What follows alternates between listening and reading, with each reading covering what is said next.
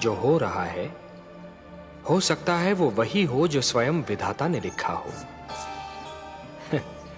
और अपना लिखा तो स्वयं विधाता भी नहीं मिटा सकते ना? हे महादेवी, हो सकता है कि यह मानव की परीक्षा हो, उसके कर्मों की परीक्षा हो। पर ऐसा संसार और ऐसा